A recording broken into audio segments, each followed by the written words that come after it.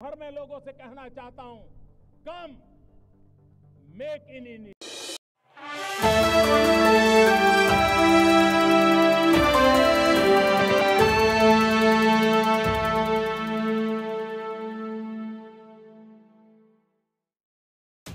Jharkhand के पूर्व मुख्यमंत्री हेमंत सोरेन को आखिरकार जमानत मिल ही गई है। झारखंड हाईकोर्ट के जस्टिस रंगन मुखोपाध्याय ने शुक्रवार 28 जून को ज़मीन घोटाला मामले में जेल में बंद हेमंत सोरेन को जमानत दे दी है।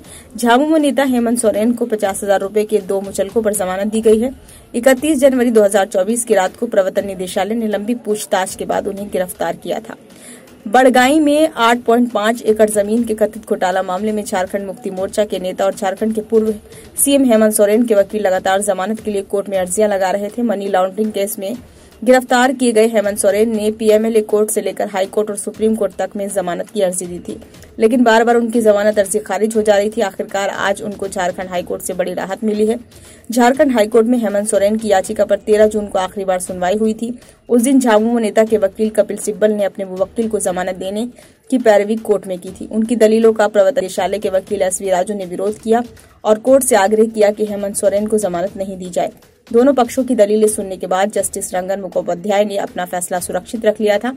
शुक्रवार की सुबह डबल बेंच की सुनवाई के बाद जस्टिस रंगन मुखोपाध्याय की सिंगल बेंच ने अपना आदेश सुना दिया। उन्होंने कोर्ट रूम में एक लाइन का फैसला सुनाया जिसमें कहा कि हेमंत सोरेन को जमानत दी जाती है। झारखंड मुक्ति मोर्चा ने हेमंत सोरेन को जमानत मिलने पर प्रसन्नता जताई और कोर्ट के फैसले का स्वागत किया। झारखंड हाईकोर्ट में ईडी को उस वक्त झटका लगा जब जमानत पर 24 घंटे के स्टे लगाने के उसके आग्रह को नामंजूर कर दिया गया। हेमंत सोरेन को करीब पाँच महीने के बाद जमानत मिली है। हाईकोर्ट से हेमंत सोरेन को जमानत मिलने के बाद झामुमो के साथ साथ कांग्रेस नेता भी प्रसन्न है।